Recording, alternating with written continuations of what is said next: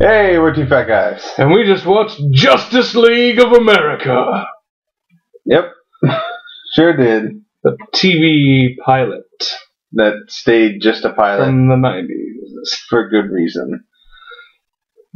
Ah, So let's do let's do a roster check with the Justice League. We have Superman. Nope. No. Nope. No Superman. We got Batman. Surely. Nope. No Batman. nope, not even Dick Grayson. Wonder Woman. Not close. No Wonder Woman. No. Aquaman. Tell me we've got Aquaman. Their base is underwater. Surely we have Aquaman. You didn't even think of that. no, No, no Aquaman. Really? Then pray tell, who is this Justice League? Well, everyone's favorite Green Lantern.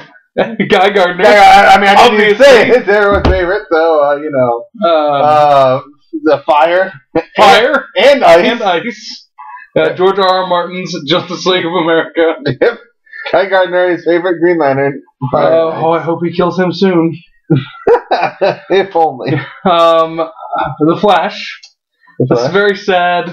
Sad, sad Unemployed Flash. Flash. The Atom or the Atom, depending on what you're playing. And creepy, overshadowing, mission, uh, essentially it's Charlie, and they're his angels, Martian Manhunter. Yes, Fat Mushroom Manhunter. Yeah, yeah, definitely Fat Martian Manhunter. I thought you were joking around. That's No, then like you turned, a- you saw his gut, and I'm like, Jesus. David Ogden Stiers is a, a large fellow, uh, which is great in like 99% of the roles he does. And then I heard he got cast as this, and I was like, hi. That all right, the voice checks out. He's Mhm. got that like half of his credits on IMDb are narrator. Mhm. Um, and he's Cogsworth, and but yeah, so good, good voice. Does not have the physique I of think a Martian Manhunter. I know you said Cogsworth. My brain said Mrs. Buttersworth. I'm like, fucking Yeah, yeah, he played What? Mr. Buttersworth. the real racist. He's a super good actor, though, man. I couldn't. Oh, oh, it's it's Oh, it's, it's amazing. Um, This movie, though, this this it, it had the worst feature, which these marathons taught me one thing is that boring is the worst thing of all. yes, Like I'll, I'll take bad, campy, over the top awfulness any day of the week. yeah, like boring. it's it's worse than bad. It's boring. It's like it's like meh costumes and meh story. and- Man, so that that's how they used to think that they could get away with comic book costumes in a live action movie. Yeah, man. I thought myself thinking longingly of the digitally made Green Lantern costumes in the Green Yeah. Lantern movie. like, hey, that was Yeah, it doesn't look so. It, that wasn't so bad. all, it's green. oh shit! Yeah, I didn't that. I'm sorry. I meant like teal lantern. Yeah, teal lantern. Oh. Yeah, so Fire's costume was green, so clearly they couldn't have two green costumes. Yeah. So they, So they changed Green Lantern's costume. Which sucks. They didn't change his ring. His ring Nope. is still green. Yeah, so it just just draws attention to the fact. yeah. So every time you do something green, it's super like a great, really good color green usually. Like a nice deep green, and then just teal, straight up teal.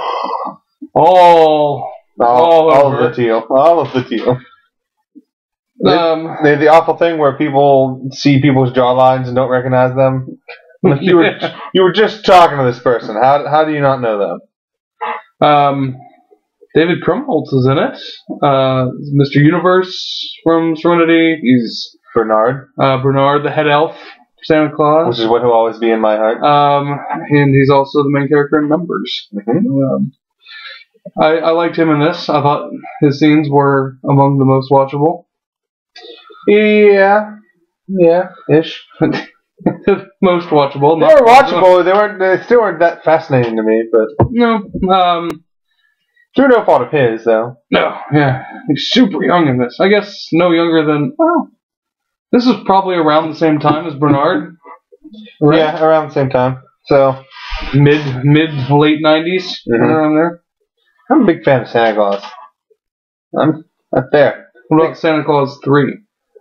I have I watched that one. Martin Short. I've seen parts of it. I've not watched the whole thing. It's not good, but Martin Short So there's that. I'm assuming he like screams and jumps around and stuff. So yeah, he's Jack that- Frost. so that's that's all right. and spoilers, spoilers for Santa Clause Three.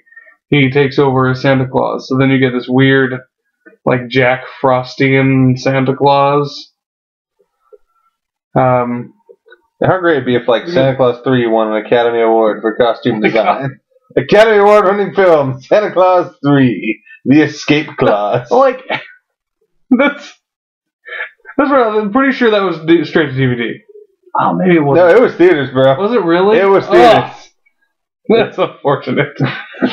so, uh, since this is about the Justice fun point of fun point of fact. Since we're on Santa Claus, okay, despite your segue, I tried. I tried, internet. I tried. I I'm trying to think of any examples of a movie Mm-hmm. that had a direct-to-DVD sequel Mm-hmm. that then had a third part released in theaters. I feel like there's at least one. Like, man, none jumps to mind, which makes me feel even worse for bringing it up. Because we have two minutes of us going, well, I think. gee! We'll edit this out. Blooper reel. No, never. Never? Oh, yeah, no editing. Fuck. Fuck. Well, no, some editing. Some editing. Editing now, but not this. Little bit editing. Right. Um, I'm not gonna do this right now. I'm gonna look this up later, and we'll have this Yeah. discussion when we're not in the middle of. So we'll maybe, we'll maybe talk about this after our next movie. Yes. Come on. It's homework. So Homework. you try to do some research, see if you can find any, and see if you're right. And then write back. us a letter. Use the U.S. Postal Service and save America. PO Box Four eight seven nine two one. three. That's that's the one. No, no zip code, no city. They'll find us. They know which one. Oh, it's the PO Box with like 13 letters. Okay, good. yep, thirteen Yeah, minutes. two fat guys. Yep, that's checks out. Oh man. So yeah, it's it's boring. Don't watch it. Don't bother. Costumes are bad. Story's bad.